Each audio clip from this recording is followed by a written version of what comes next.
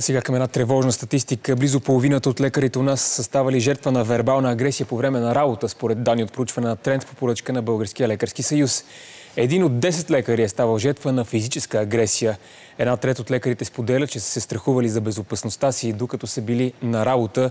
Тревожни данни и от страна на пациентите, докато повечето са доволни от здравната услуга, която лекарите предоставят, половината от анкетираните вярват, че медиците сами са виновни за проявената агресия срещу тях. А близо една пета смята, че такова поведение може да доведе до по-бързо обслужване. Още по темата от Кристина Налбантова.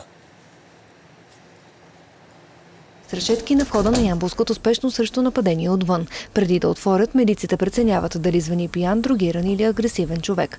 До мярката прибягват след поредица от случаи. Последният преди дни на нощно дежурство пациент напада екипа. Директно с закачалка да, към лекаря, който се опитва да му помогне. Е, ние някак с вербалната агресия сме претръпнали, но в последните няколко месеца при нас, лично в спешното отделение в Ямбо, поне имаме 4-5 случая с агресия, с чупване на стъкла. След 13 години в спешното, доктор Георгиев признава, че той и колегите му вече работят със страх, защото по случаите, които са докладвали, няма виновни. Така че се чувстваме доста беззащитни като хора, които се опитват да работят в тая среда. Вижте какво става! Вижте го, доктора! За три години в прокуратурата са образувани 39 досъдебни производства за физическо насилие над медици, като броят им се увеличава всяка година. Общо санкционираните лица са 32, от които 5 случая с наказание наложено лишаване от свобода ефективно. В реалността случаите на агресия са много повече.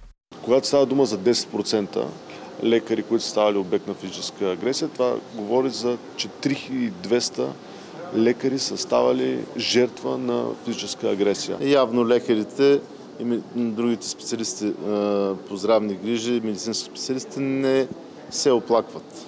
Те всъщност затаяват всичко това в себе си и продължават да работят. 15 на 100 от анкетираните пациенти признават, че са изпитвали чувство на агресия срещу лекар. Сред водещите причини за това са неуважително отношение, неудовлетвореност от прегледа и дългото чакане за прием.